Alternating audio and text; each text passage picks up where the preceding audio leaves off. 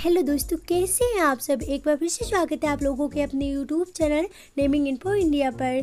दोस्तों, इस वीडियो में हम लेकर आए हिंदू लड़कों के लिए टेन बहुत ही संस्कारी नाम और साथ ही नामों के अर्थ भी बताएँगे। तो वीडियो अच्छी लगी तो वीडियो को लाइक, शेयर और कमेंट करना बिल्कुल ना भूले। तो ज़्यादा बातें ना करते हुए चलिए वीडियो को स्टार्ट करते हैं। लेकिन उससे पहले अगर आप हमारे चैनल पर नए हैं या फिर आपने अभी तक हमारे चैनल को सब्सक्राइब नहीं किया है तो प्लीज़ चैनल को लाल वाले बटन पर अपनी उंगली से टच करके सब्सक्राइब कर ले, क्योंकि दोस्तों, यह सुविधा बिल्कुल फ्री है। और पास में बेलाइकन को भी प्रेस करके आल पर ज़रूर सेलेक्ट कर ले, ताकि हमारी लेटेस्ट वीडियो की नोटिफिकेशन आपको मिलती रहे वो भी सबसे पहले। तो चलिए वीडियो को स्टार्ट करते हैं।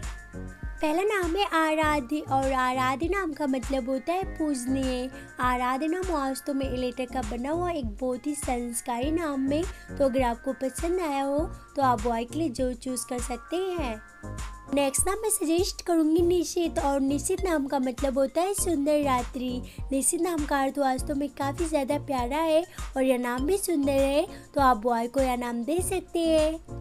नेक्स्ट नाम मैं लेकर आई हूँ शमिक और शमिक नाम का अर्थ होता है शांति प्रिय यानी कि पीसफुल शमिक नाम कहने में काफ़ी ज़्यादा आसान नाम है और यह नाम इस लेटर का बना हुआ है तो आप बॉय के लिए चाहें तो शमिक नाम सेलेक्ट कर सकते हैं। नेक्स्ट नाम जे लेटर का बना हुआ एक बहुत ही खूबसूरत नाम है जलेश और जलेश नाम का मतलब होता है जल के देवता, यानी कि लॉर्ड ऑफ़ वाटर्स तो जलेश नाम आपके बॉय के लिए बहुत ही ज़्यादा संस्कारी नाम रहेगा. नेक्स्ट नाम बहुत ही यूनिक सा नाम है आर्यू और आर्यू नाम का मतलब होता है ज्ञान का राजा.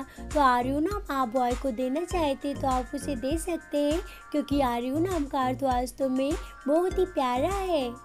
नेक्स्ट इज़ रतिक और रतिक नाम का अर्थ होता है सुंदर दिल यानी कि ब्यूटीफुल हार्ट अगला नाम मैं सजेस्ट करूँगी दिविज और दिविज नाम का अर्थ होता है दिव्य यानी कि डिवाइन तो दिविज नाम वास्तव में डी लेटर का बना हुआ एक बहुत ही आसान और काफ़ी प्यारा नाम है और यह नाम संस्कारी भी है तो आप बॉय को यह नाम दे सकते हैं। नेक्स्ट नाम है विनेश, और विनेश नाम का मतलब होता है सोने जैसा यानी कि गोल्डन तो विनेश नाम वास्तव में बहुत ही प्यारा नाम है तो आप बॉय के लिए चाहें तो विनेश नाम ट्राई कर सकते हैं।